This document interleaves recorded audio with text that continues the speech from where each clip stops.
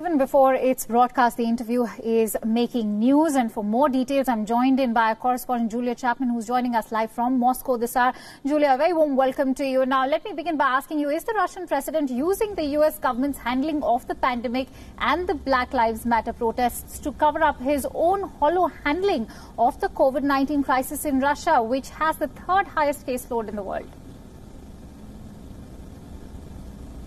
Well, he is certainly trying to distract from the situation here in Russia by casting blame elsewhere in the world. Nevertheless, there is some reasonable ground for the comments that he made, saying uh, that in the US there had been deep political divisions that had led to some of the mishandling of the COVID 19 crisis. But it's that comment about minimal losses here in Russia that will certainly be raising eyebrows, not least among the families of the more than 7,000 people who have been killed by the virus here in Russia. Now, as you mentioned, that's roughly a 1% uh, mortality rate given the very high number of overall cases of coronavirus here in Russia. More than half a million people have been confirmed to have been diagnosed with COVID 19 in the country. It's the third highest overall number in the world. But the death toll has been relatively low compared to countries with similar sized outbreaks the death toll has been very insignificant. Now, part of that is because of the methodology that has been used to count coronavirus deaths. In the previous weeks, we've seen deaths not being counted in that overall tally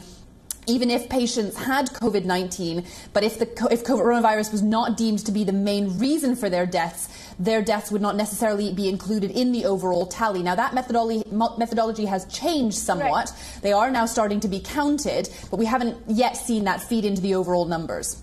Right, Julia, and yet questions persist, of course, on Russia's record keeping of the coronavirus numbers, as you just pointed out. Um, and if so, why have the numbers been falsified? Well, there's no evidence to suggest that they have been falsified. Uh, there are suggestions that in the early stages of the outbreak, the numbers of overall cases were low. It seemed incredible that Russia uh, was able to avoid the worst of the crisis for a long time. That, in the end, has proven to not be the case. It just came later to Russia than it did to many other countries. Now, Russia credits early border closures for that. Uh, and as I say, the high number of overall cases, Russia says, is down to overall testing. They've been testing widely. Russia has one of the widest testing rates in the world. Uh, but there is certainly still criticism that uh, in the early days of the outbreak, there might have been playing down the severity of it. Although when the uh, outbreak and the severity of the outbreak did become apparent, they very quickly moved into lockdown measures. However, those are already starting to be eased in places like Moscow, where the number of cases has fallen significantly in recent weeks. Moscow was the epicenter of Russia's coronavirus right. outbreak. It no longer is, but there are big concerns that now that the outbreak is moving from the cities to the regions, uh, those parts of Russia will be less able to handle the pandemic. Right. It's interesting, Julia, that you mentioned Moscow because is Moscow ready just yet to host the Victory Day parade on June 24th?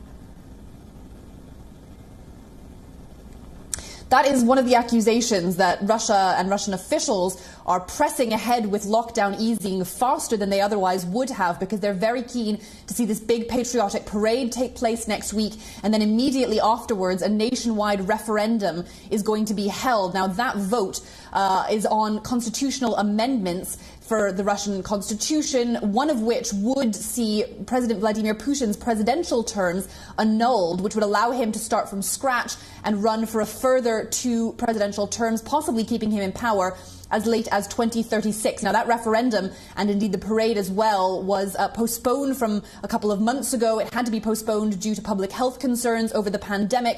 But now that Moscow has seen cases falling, officials have been pressing ahead with both the vote and the parade. And there are certainly concerns that after those events take place, we'll see another uh, spike in coronavirus cases that could precipitate another lockdown here. Right. Julia, also allow me to refer to the interview by referring to the quote unquote defeated party's bogus stories ever since Donald Trump won the elections in the backdrop of alleged Russian interference in the 2016 US elections. How do you view the Russian president's fresh comments, considering this is yet another election year for the United States?